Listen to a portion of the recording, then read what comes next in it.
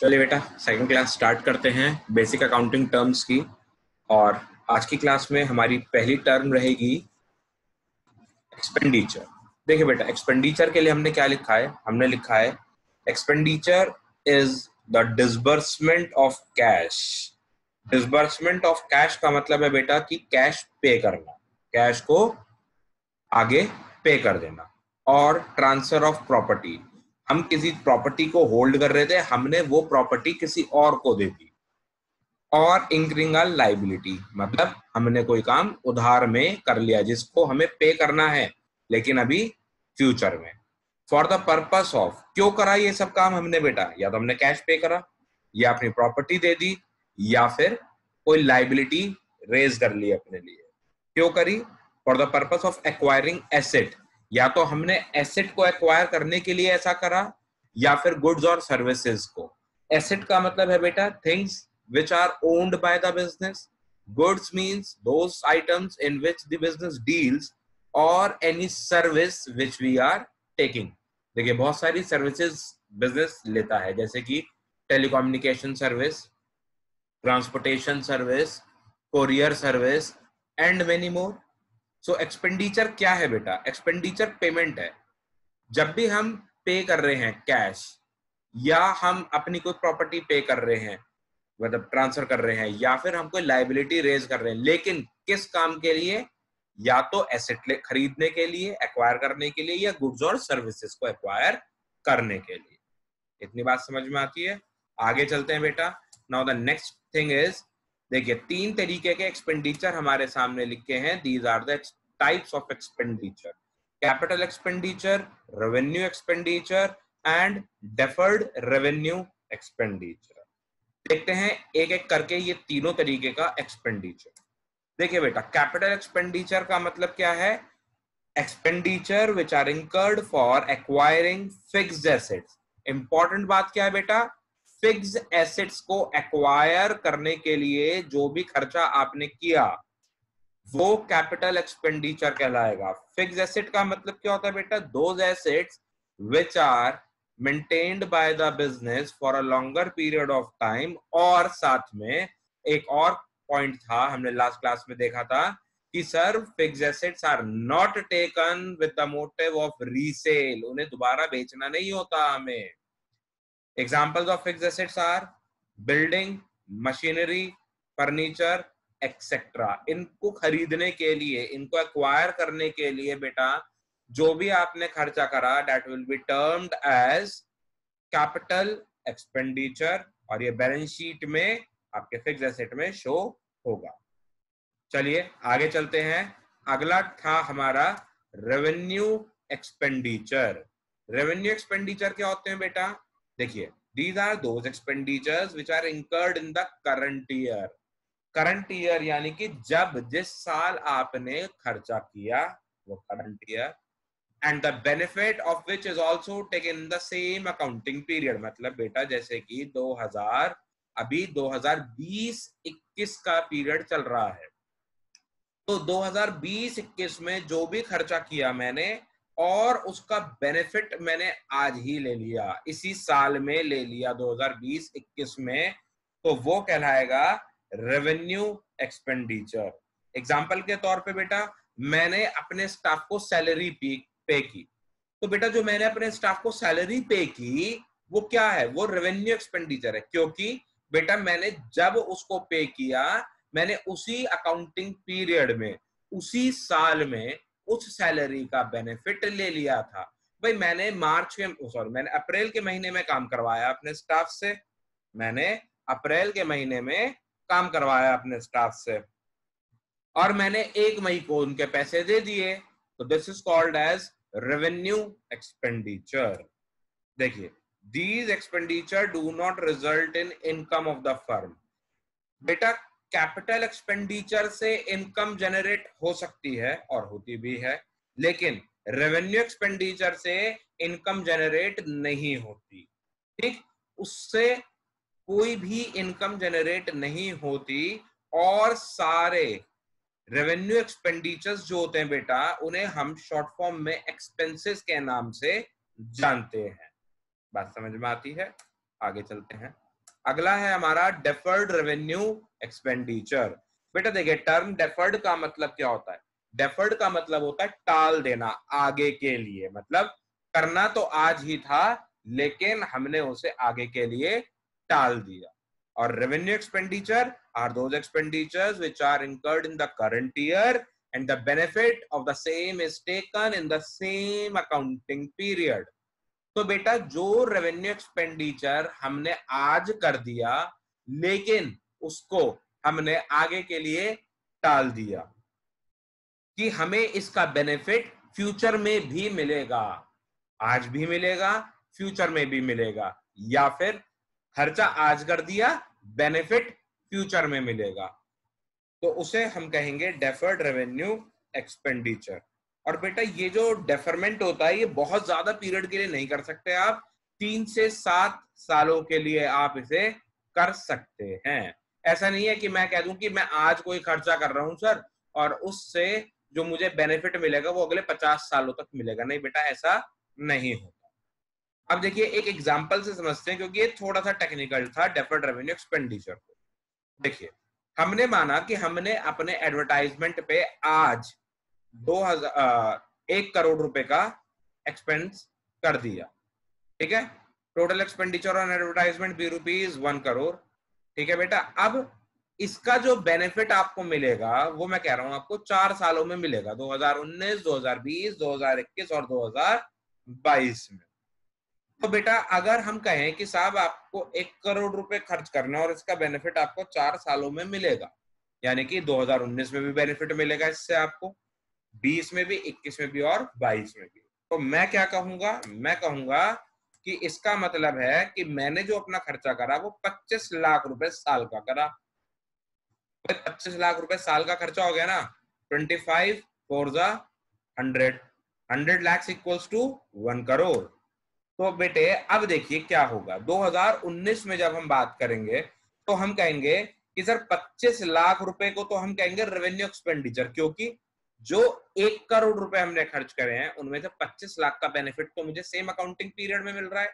लेकिन बचे हुए पिछहत्तर लाख 75 लैक्स को हम कहेंगे कि सर ये है हमारे लिए डेफर्ड रेवेन्यू एक्सपेंडिचर क्योंकि इस 75 लैक्स का जो बेनिफिट मिलेगा वो मुझे मिलेगा 2020, 2021 एंड 2022 में। तो हम इसे डेफर्ड रेवेन्यू एक्सपेंडिचर को रिकॉर्ड करेंगे अपनी बैलेंस शीट में करंट एसेट्स के हेड में। बात समझ में आती है? अब चलते हैं बेटा 2020 में। 2020 में अब जो 75 लाख रुपीस का मैंने deferred revenue expenditure DRE record कर रखा है, उसमें से फिर से 25 लाख को मैं ट्रांसफ़र करूँगा रेवेन्यू एक्सपेंडिचर में। और बचे हुए 50 lakh will remain in DRE वो करंट एसेट्स में डीआरई के रूप में पड़े रहेंगे डेफर्ड रेवेन्यू एक्सपेंडिचर सेम चीज़ बेटा 2021 में भी हो जाएगी कि sir 25 lakh will be transferred to revenue expenditure from DRE और बचे हुए 25 लाख डीआरई के में ही रहेंगे करंट एसेट्स में. और 2022 में क्या होगा बेटा?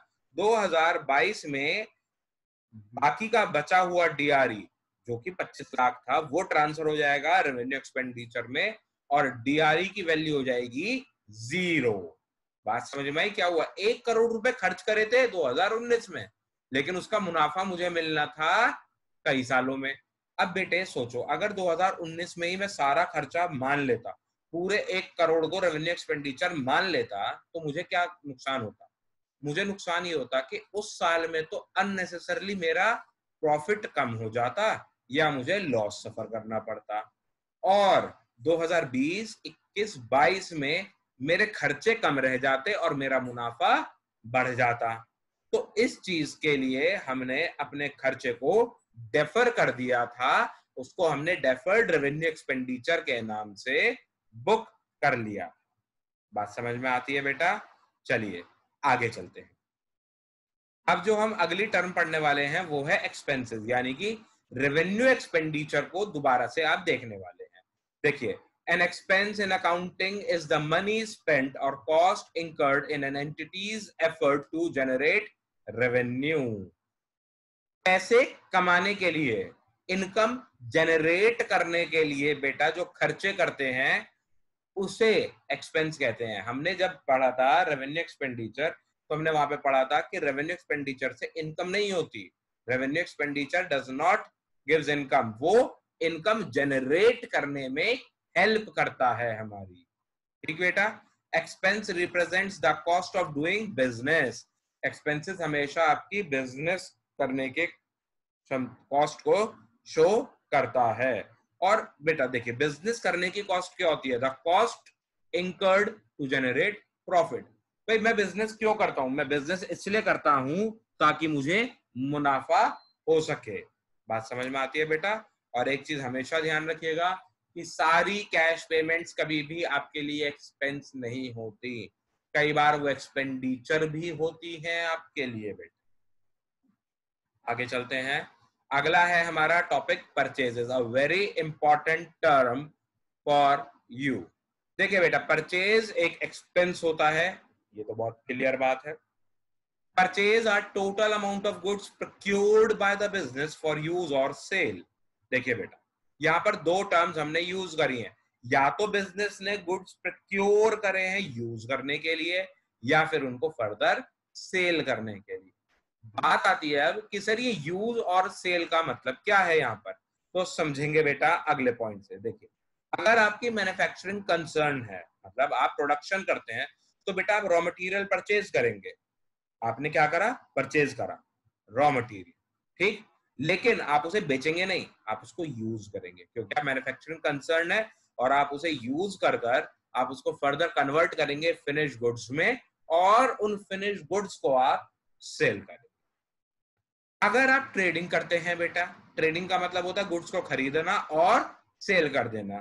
तो you have procured the goods for sale तो बेटे ट्रेडिंग कंसर्न क्या करती हैं? उसको रीसेल कर देते जैसे खरीदा, वैसे ही बेच दिया या थोड़ी बहुत उसको प्रोसेसिंग कर कर बेच दिया। प्रोसेसिंग किस तरीके की करते हैं? जर्नली ट्रेडिंग फर्म्स कोई वैल्यू एक्स्ट्रा वैल्यू ऐड नहीं करते। उसकी यूटिलिटी को इंक्रीज नहीं करते। बस ट्रेडिंग फर्म्स कई बार अपनी जैसे ब्रांडिंग कर देते हैं उसके ऊपर। एग्ज़ाम्पल के तौर पे बेटा, अगर हम कहें कि, सर, जैसे इजी डे है। अब इजी डे क्या करता है? वो मार्केट से शुगर राइस ये सब परचेज करता है और उनको अपनी कन्वीनियंट पैकिंग्स में पैक करता है with their brand name and logo और उसको सेल कर देता है। तो ये जो कन्वीनियंट पैकिंग करी उसने और उस पर ब्रांडिंग करी अपनी दिस इज़ कॉल्ड प्रोसेसिंग ठीक? और विदाउट प्रोसेसिंग ऐसे ही उसने परचेज करके रख लिया। कस्टमर ने जाके कहा कि I want one K G sugar they measured the one K G sugar and they gave it to the customer तो यहाँ पर उन्होंने कोई भी प्रोसेसिंग नहीं करी, जैसे खरीद के लाए थे, वैसे ही आगे बेच दिया ठीक है? परचेज में बेटा दो तरीके की परचेज होती है। एक कैश की परचेज और एक क्रेडिट परचेज कैश परचेज का मतलब होता है बेटा कि आपने परचेज करी और आपने एज उसकी पेमेंट ऑन द स्पॉट कर दी। और क्रेडिट परचेज का मतलब होता है कि बेटा आपने परचेज तो कर ली लेकिन अभी आपने उसकी पेमेंट नहीं करी, आप उसकी पेमेंट फ्यूचर में करेंगे। अब बेटे, एक बात को समझ लीजिए कि ये जो टर्म परचेजेस है ना, यहाँ पर एक चीज़ का खास तौर से ध्यान रखिएगा कि परचेजेस में केवल वही चीज़ें आएँगी जिस चीज़ का बिज़नेस करते हैं। जैसे कि अगर मेरी एक स्टेशनरी की शॉप है तो बेटा जितनी भी मैं स्टेशनरी आइटम्स खरीद के लाऊँगा अपने बिज़नेस में बेचने के लिए तो that will be recorded in purchases लेकिन बेटे, अगर मैंने एक चेयर खरीदी अपने बैठने के लिए, एक फ़ैन खरीदा अपने बिज़नेस में मतलब अपनी शॉप पे लगाने के लिए तो these are not the part of purchases ये परचेजेस का पार्ट नहीं बनेंगे। आप कहेंगे, सर परचेज का मतलब होता है खरीदना। बेटा, ये लेमैन की बात हो गई कि परचेज का मतलब होता है खरीदना। यहाँ पर अकाउंटेंसी में जब भी हम वर्ड परचेजेस यूज़ करते हैं परचेज यूज़ करते हैं तो उसका मतलब होता है केवल वो चीज़ों को परचेज करना, उन चीज़ों को खरीदना, जिन चीज़ों का हम बिज़नेस करते हैं, जिन्हें हम गुड्स के नाम से जानते हैं। आगे चलते हैं। Next term is purchase return हुआ क्या बेटा? आप गुड्स खरीद के लाए थे बट आपको वो गुड्स पसंद नहीं आए। कारण कोई भी हो सकता है उनको ना पसंद आने का आपके, कि सर, जैसा मुझे चाहिए था स्पेसिफिकेशन जो चाहिए थी, वो नहीं है इसके अंदर। जो क्वालिटी मुझे चाहिए थी, वो नहीं है। तो वो जब गुड्स आप वापस करेंगे, जिससे आप खरीद के लाए उसे तो वो कहलाएगा परचेज रिटर्न देखिए goods purchase may be return due to any reason like specification नहीं है डिफेक्टिव है तो उसे परचेज रिटर्न या फिर रिटर्न आउटवर्ड के नाम से जाना जाता है। चलिए, आगे चलते हैं। अगला टर्म है हमारा सेल्स सेल्स का मतलब क्या होता है बच्चे?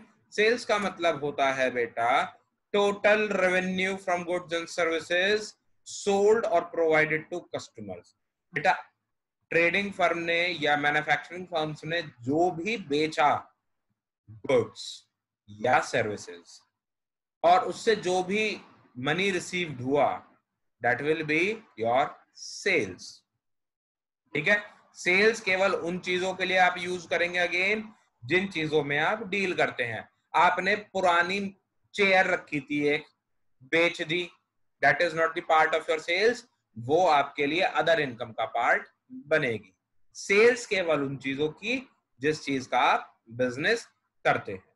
ठीक है बेटा? सेल्स भी दो प्रकार की होती है कैश सेल्स और क्रेडिट सेल्स कैश सेल्स के आपने गुड्स बेचे, आपको तुरंत पैसे मिल गए। क्रेडिट सेल्स आपने गुड्स बेचे, पैसे आपको फ्यूचर में मिलेंगे, आज नहीं मिले आपको। ठीक बेटा? Sale of fix asset is not termed as sales क्योंकि वो आपके लिए अदर इनकम का पार्ट बन सकता है, लेकिन सेल्स केवल उन चीज़ों की होगी, जिस चीज़ में आप डील करते हैं। ऐसे ही बेटा, आप सेल्स रिटर्न आएगा। सेल्स रिटर्न क्या होता है कि आपने जो गुड्स बेचे, वो किसी भी कारणवश आपके कस्टमर को पसंद नहीं आए और उन्होंने उन्हें वापस कर दिया। That is known as sales return आगे चलते हैं। अगली टर्म है बेटा हमारी प्रॉफिट प्रॉफिट का मतलब क्या होता है बेटा? समझेंगे। Excess of total revenue over total expenses. Excess of total revenue over total expenses is known as, is known as profit. Next, profit increases the investment of the owners. जो मालिक हैं, उनकी इन्वेस्टमेंट यानी कि उनकी कैपिटल इंक्रीज हो जाती है प्रॉफिट आने से। ठीक है?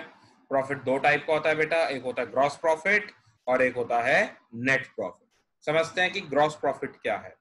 ग्रॉस प्रॉफिट का मतलब है बेटा it is the difference between sales revenue और द प्रोसीड्स ऑफ़ गुड्स और services sold over its direct cost देखिए बेटा, आपने जो गुड्स बेचे, उनको बेचने के लिए जो भी आपने डायरेक्ट कॉस्ट इनकर करी डायरेक्ट एक्सपेंसेस इनकर करे तो आपका आएगा ग्रॉस प्रॉफिट डायरेक्ट एक्सपेंसेस का मतलब क्या होता है बेटा? एक्सपेंसेस रिलेटेड टू फैक्ट्री ये बेटा बेसिकली मैन्युफैक्चरिंग कंसर्न्स में ज़्यादा देखा जाता है कि, सर, जो भी आपके डायरेक्ट एक्सपेंसेस हैं, उनको माइनस करने के बाद आपकी रेवेन्यू में से जो प्रॉफिट आएगा, वो आएगा आपका डायरेक्ट सॉरी ग्रॉस प्रॉफिट हालाँकि आप जब अकाउंटिंग करेंगे तो आप ग्रॉस प्रॉफिट किसी भी फर्म का निकाल सकते हैं।